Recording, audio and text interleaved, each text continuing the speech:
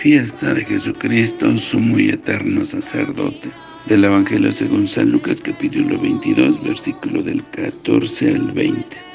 En aquel tiempo, llegada la hora de cenar, se sentó Jesús con sus discípulos y les dijo, «Cuánto he deseado celebrar esta Pascua con ustedes antes de padecer, porque yo les aseguro que ya no la volveré a celebrar hasta que tenga cabal cumplimiento en el reino de Dios».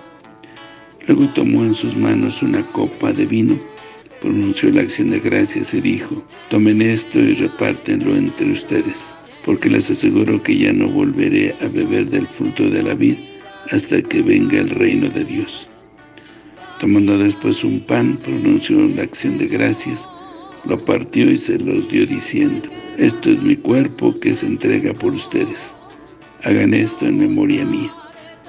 Después de cenar hizo lo mismo con una copa de vino, diciendo, Esta copa es la nueva alianza, sellada con mi sangre, que se derrama por ustedes.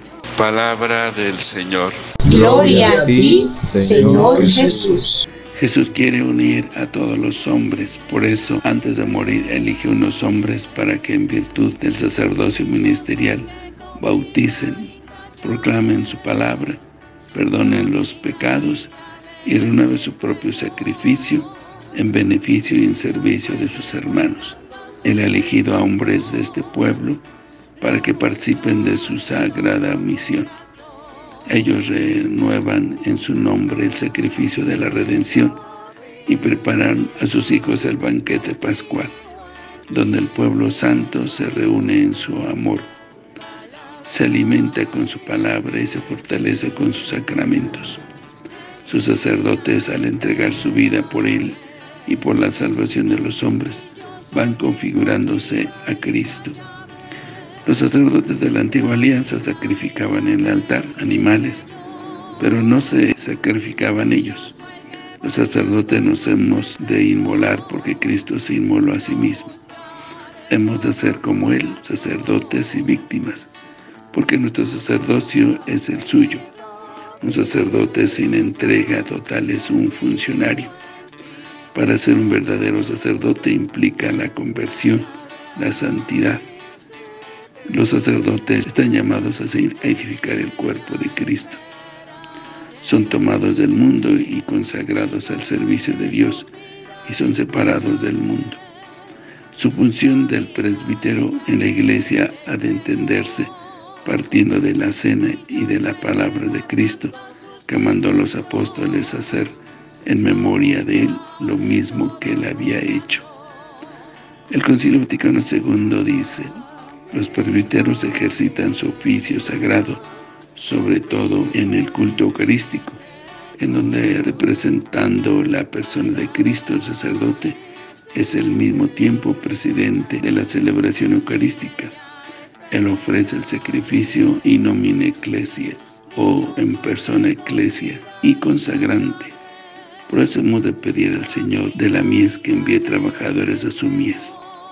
Jesús le dijo a sus apóstoles, no me han elegido ustedes a mí, yo los he elegido a ustedes. La elección indica siempre predilección. Cuando Dios elige ministros suyos, deja a su verbo la elección, porque han de continuar sus mismos misterios. Una de las primeras cualidades que parecen buscarás será la docilidad. Los que él elige los hace amigos. Ustedes son mis amigos, dice Jesús, y hacen lo que yo les mando.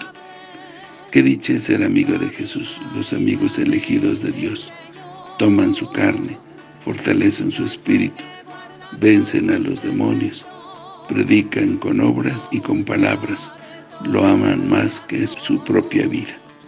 Que el Señor los bendiga.